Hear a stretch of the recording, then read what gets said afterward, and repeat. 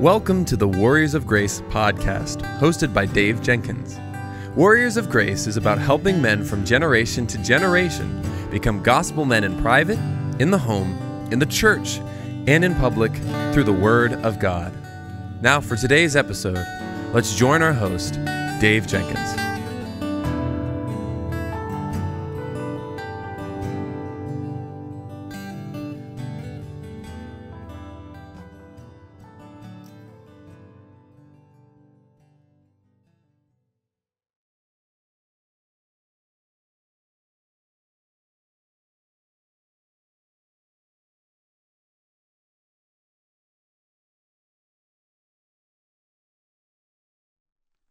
Well, welcome back to the Warriors of Grace podcast. My name is Dave, and I'm the host for this podcast. And today we continue our study through First Timothy. We're we're nearing the end of this study, and today the title of our study is the rules of engagement. And we're going to look today at First Timothy 6, 11 through 16. Uh, let's read the text. First Timothy uh, 6 11 through 16. But as for you, O man of God, flee these things. Pursue righteousness, godliness, faith, love, steadfastness, gentleness. Fight the good fight of the faith. Take hold of the eternal life to which you were called, and about which you made the good confession in the presence of many witnesses. I charge you in the presence of God, who gives life to all things, and of Christ Jesus, who, in his testimony before Pontius Pilate, made the good confession to keep the commandment unstained and freed from uh, free from reproach until the appearing of our Lord Jesus Christ, which he will display at the proper time. He who is the blessed and the only sovereign, the King of kings and the Lord of lords, who alone has immortality and who dwells in unapproachable light, whom no one has ever seen or can see. To him be honor and eternal dominion. Amen. This is the reading of God's precious word. The United States military engagement in Somalia, commonly known as Black Hawk Down, is a well known military debacle, debacle. In the armed conflict following the downing of two American Black Hawk helicopters in the streets of Mogadishu, the city became a scene of unimaginable confusion. Somali women and children were gunned down with automatic weapons. American soldiers were cap- captured and dragged through the streets. It was not always clear who was fighting who. Well, eventually, military discipline and decor broke down, and it was every unit for itself, always a dangerous situation. And when the fighting was over, members of the United States Army walked around the Somalia soccer stadium in a daze trying to figure out what had happened. And there are many military lessons to learn from the street fight in Mogadishu. And one of the most obvious is that soldiers needed to know their rules of engagement the guidelines that tell them what they can and what they can not do in a particular conflict. Once discipline and communication broke down in Somalia, the American soldiers essentially had to make up rules as they went. And there are times when similar confusion reigns in the church.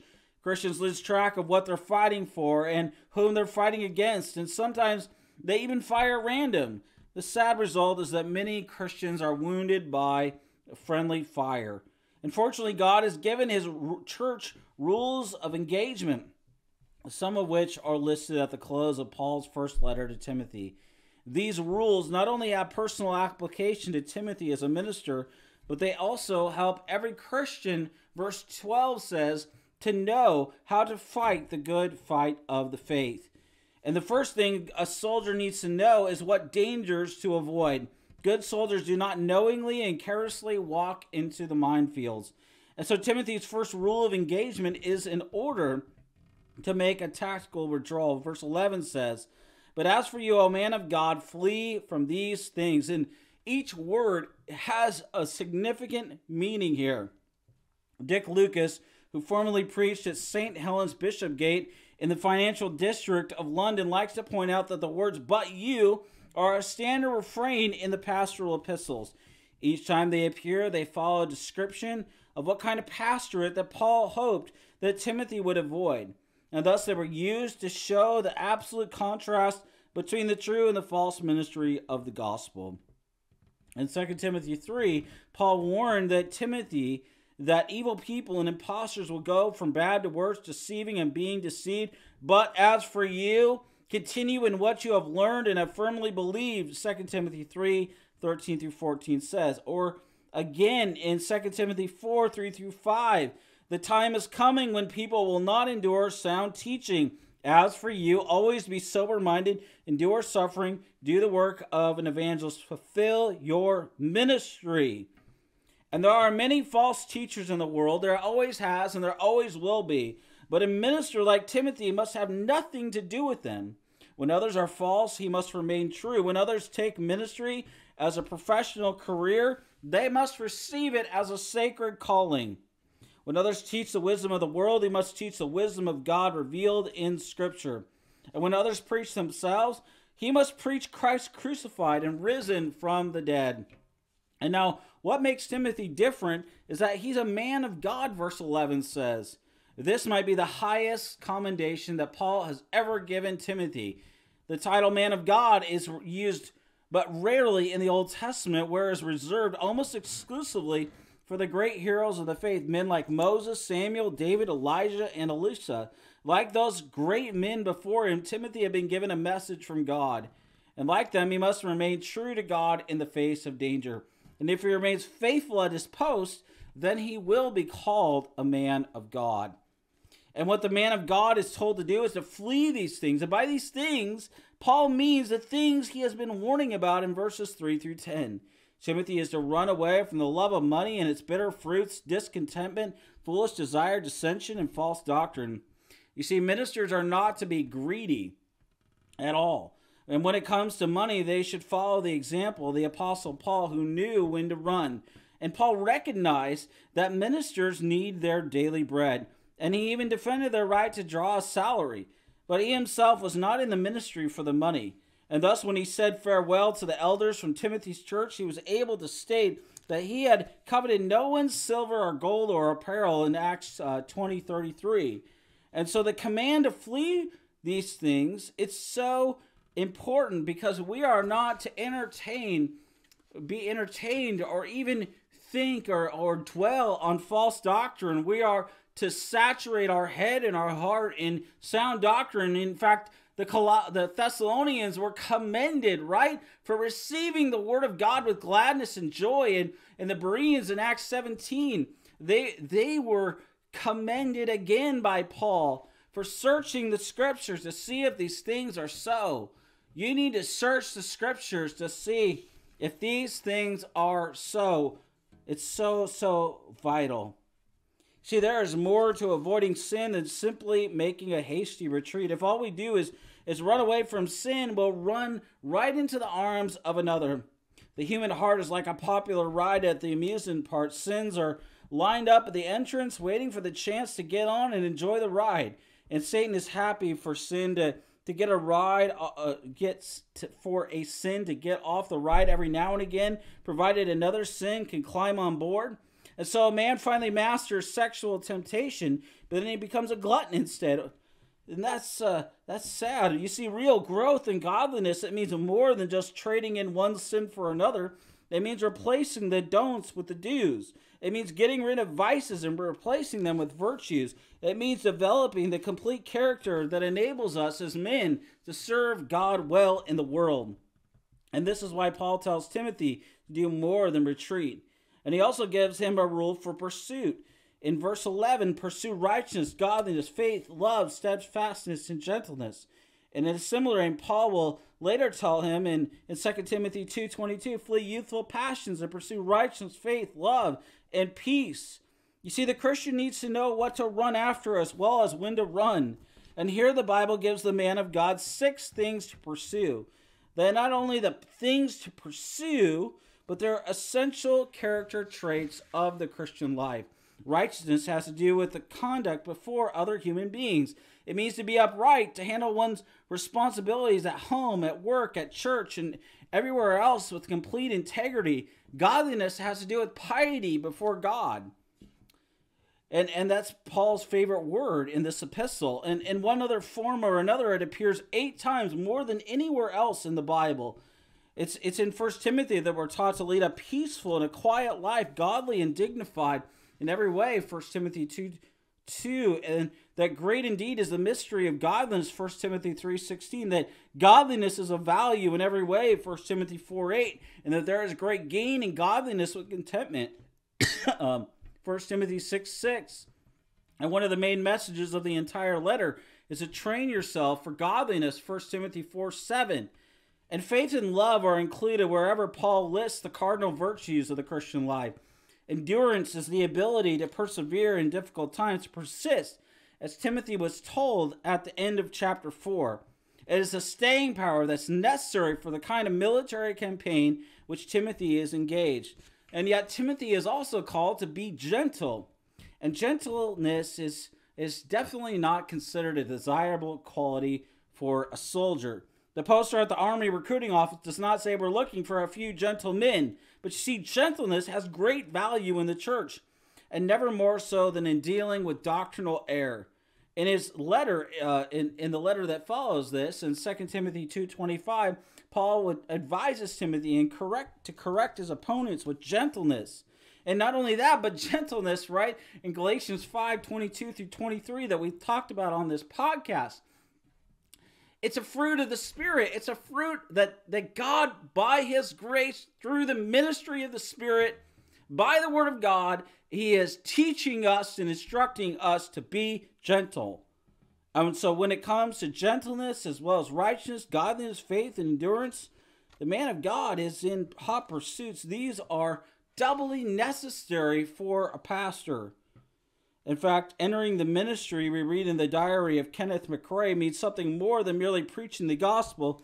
It also means the consecration of the whole life in service to God. It means a holiness of walk and conversation exceeding that expected of a Christian in a less responsible sphere. And so far, Paul has given Timothy two rules of engagement one for flight and one for pursuit. And next he gives him one for actual combat. Verse 11 fight the good fight of the faith. This command has to do with doctrine. What the Christian fights for is the faith, meaning orthodox biblical Christianity, which Paul in verse 3 has defined as the sound words of our Lord. And so the faith is that body of doctrine about salvation in Christ that was taught by the apostles. And recorded in the pages of the New Testament.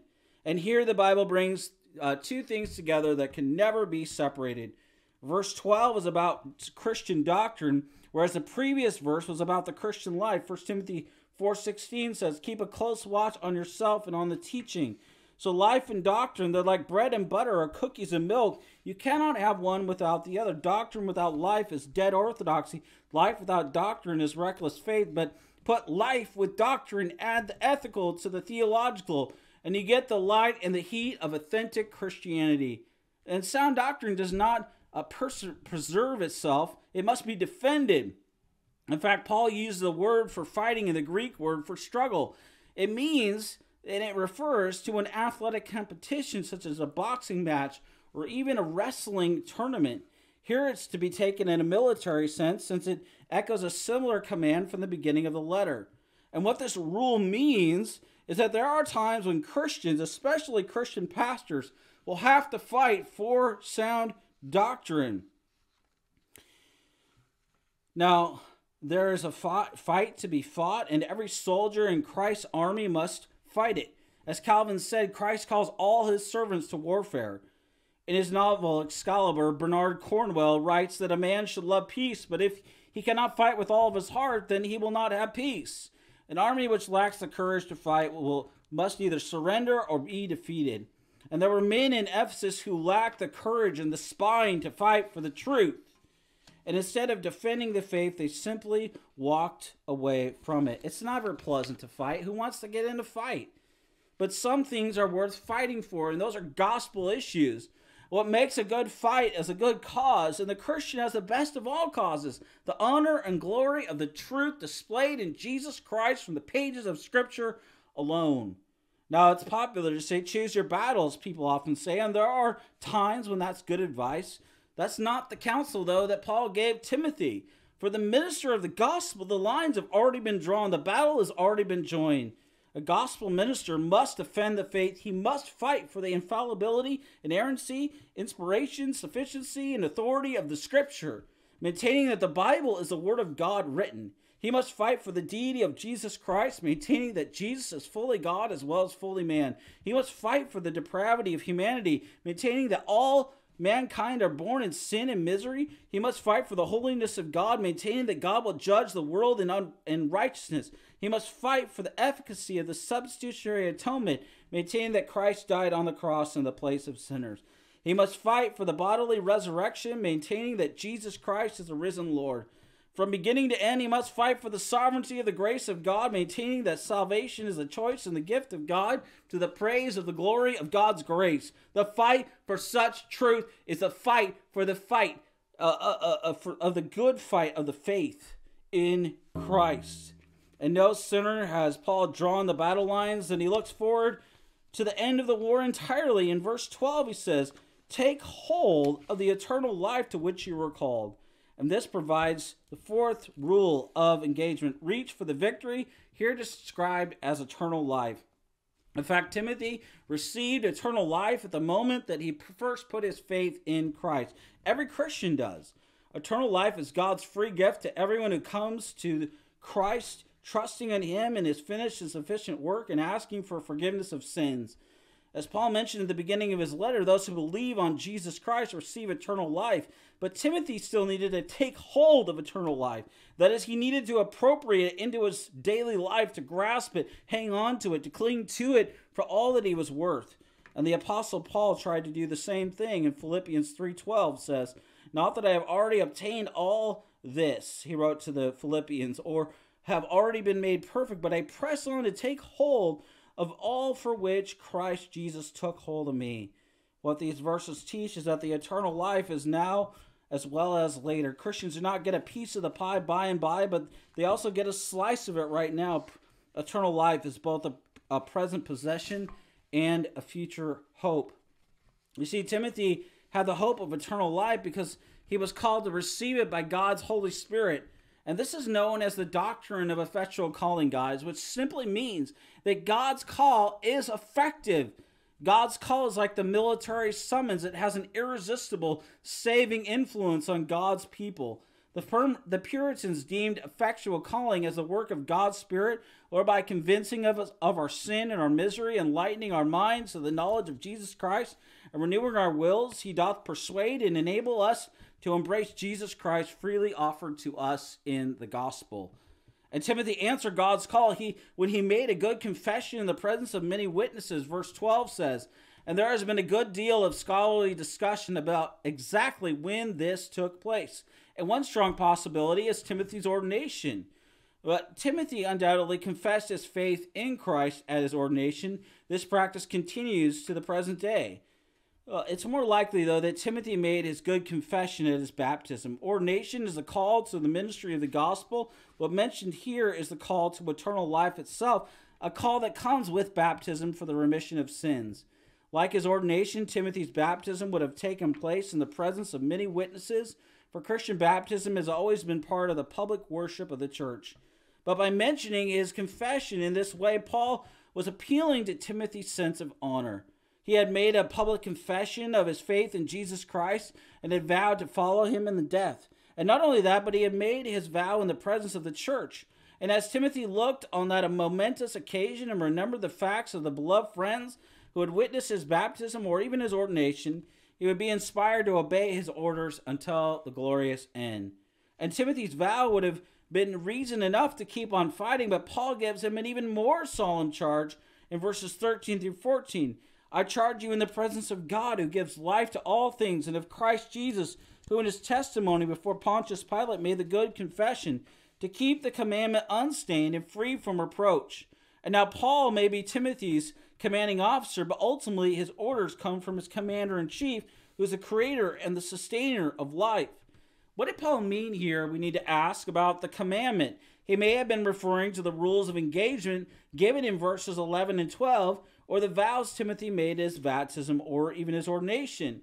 J.N.D. Kelly thinks that the language in these verses may even come from an early baptismal liturgy. The commandment then is the whole law of God, according to Kelly, uh, of Christ, the rule of faith and life, and joined to the gospel uh, to which Timothy had pledged himself at his baptism. And in case he needs any further encouragement, Paul tells Timothy that his commander in chief made, made good on his confession of faith. Jesus Christ made his confession before Pontius Pilate, the Roman governor of Judah, who ordered his execution, as it says in the Apostle Creed. He suffered, uh, yeah, he suffered under Pontius Pilate. Now, Pilate himself does not have any particular theological significance, but he does have historical significance. He's included in the Apostles' Creed in order to fix the work of Christ to a specific time and place in human history. And for many years, skeptical Bible scholars denied the existence of Pontius Pilate because he's not mentioned in any historical documents outside the Bible. But then in the 1960s, archaeologists made a discovery that confirmed the biblical history. In the steps of the theater in Caesarea, they found the following Latin inscription Pontius Pilate, prefect of Judah, has dedicated to the people of Caesarea a temple in honor of Tiberius. And this is the same Pontius Pilate who before whom Jesus Christ of Nazareth was tried and condemned. Jesus Christ appeared before him to testify that he was the Messiah. And Pilate asked him a simple question in, in John 18 uh, 33 Are you the king of the Jews? And Jesus answered in verse 37 You say that I am a king. For this purpose I was born, and for this purpose I have come into the world to bear witness to the truth. That was Jesus' good confession of faith. He was confessing himself as Lord. At every Christian baptism, the same confession is made Jesus is Lord. And so the phrase before Pontius Pilate can also mean in the days of Pontius Pilate. So this means that this verse refers to something more than what Jesus did at his trial. His good confession was made in deed as well as in word. It included his work on the cross, the way he suffered under Pontius Pilate. and so Calvin says this that Christ made his confession before Pilate, not in many words, but in reality, that, that it is by his voluntary submission to death, for he ratified his testimony with his own blood, with the sacrifice of his death, better than any words. And whether this is the best interpretation of 1 Timothy 6:13 or not, it's certainly true that even on the cross Jesus bravely maintained his confession. And as Calvin goes on to say, this gives courage to Timothy and every soldier of Christ that whenever our hearts waver, let us remember immediately to look to the death of Christ for strength. What cowardice it would be, Calvin says, to be to desert such a leader who goes before us to show us the way. And so the fifth and the final rule of engagement encompasses all others. Keep fighting until the end. Reinforcements are coming, help is on the way. And so Timothy must follow his rules of engagement. He will not have to follow them forever. They will remain in force only until the appearing of our Lord Jesus, which he will display at the proper time. 1 Timothy 6, 14 through 15 says. This short, these simple sentences, they summarize virtually everything anyone needs to know about the second coming of Christ. First, the return of Christ is definite. God will display the appearing or the epiphany of our Lord Jesus. The personal, visible, triumphant return of Jesus Christ has been a certainty since the day he left this earth and ascended to his Father in heaven.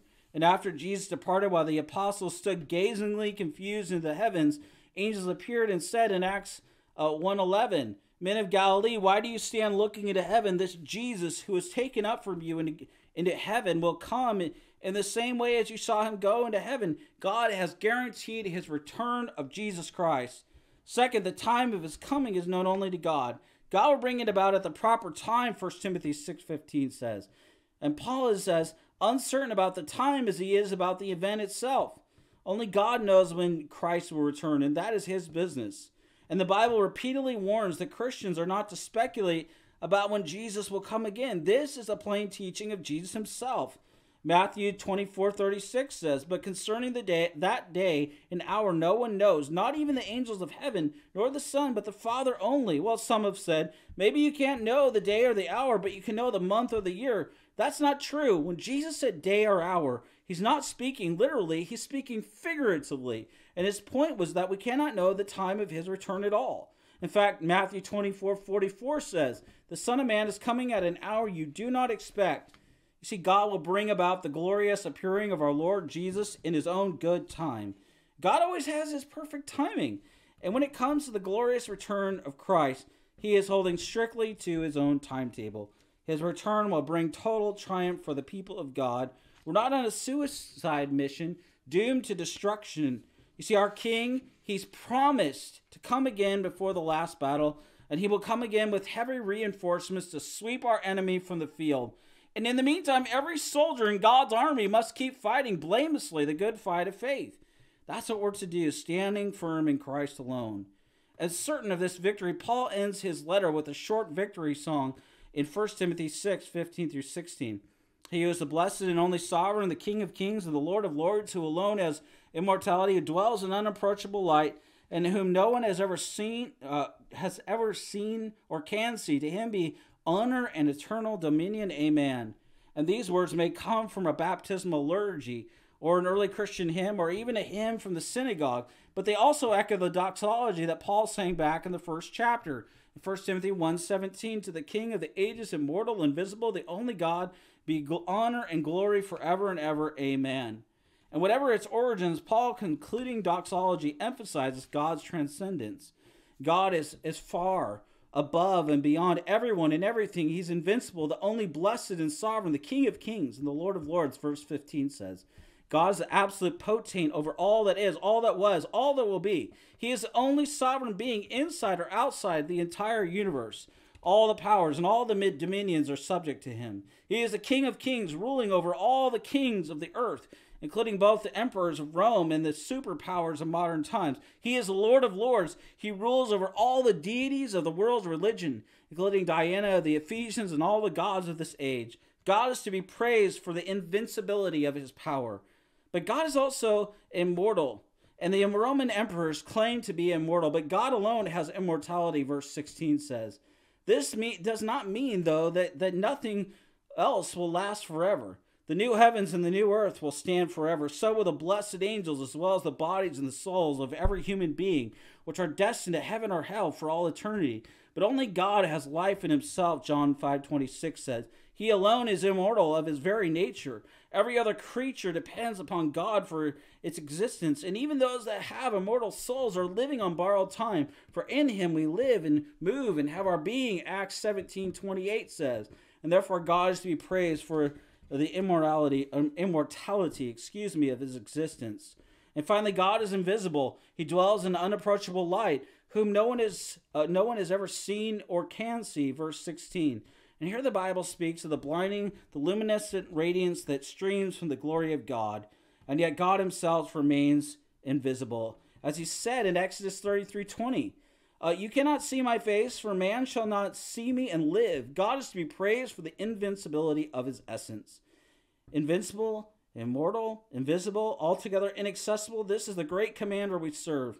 What else can we do but trust, serve, and worship him? If invincibility, immorality, and invisibility belong to him, then all praise and worship and honor belong to him. In fact, that's what verse 16 says. To him be honor and eternal dominion.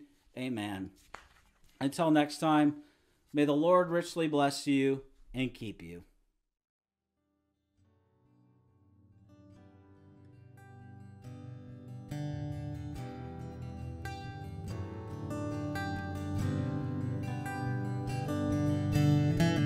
Thank you for listening to the Warriors of Grace podcast.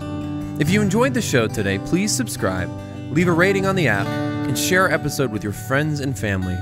If you want to, you can follow us on Instagram at Servants of Grace, on Twitter at Servants of Grace, or search Servants of Grace on Facebook. You can also find our show on the front page of the website servantsofgrace.org.